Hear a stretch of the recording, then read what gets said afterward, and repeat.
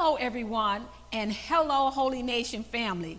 To the women of Holy Nation Church of Memphis, we thank God for this wonderful conference that we just completed. We thank God for the 50 state prayer and tea, and also for Sunday morning. We just give God all of the glory and all of the praise. Listen, HNC women, you are just phenomenal. You have done a wonderful job. To all of our invited guests, we thank God for you, and we thank God for your stewardship. Oh, we thank God for so many that that uh, tune in and gave us words of encouragement. We just thank God for you. I want to continue to co- encourage our, the women of Holy Nation uh, to continue to watch and do what you do and know that God has you in the palm of his hands and that he's working everything out for your good. Want to encourage you to continue to uh, join our YouTube channel, like, subscribe, and share. Uh, we know that our pastor, Pastor Andrew Pepina, is teaching, is teaching a wonderful word on Tuesday nights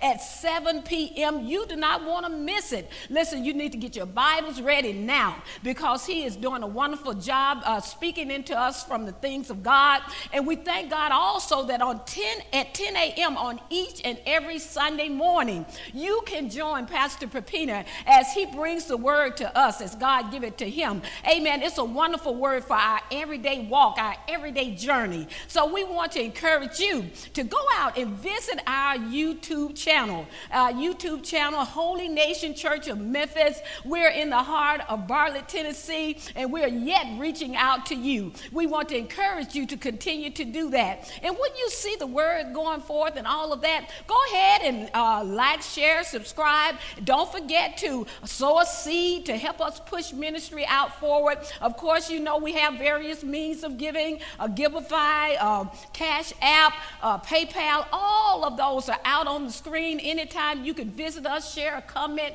We just love you over here at Holy Nation with the love of Christ. God bless you, and until next time, we are praying for you.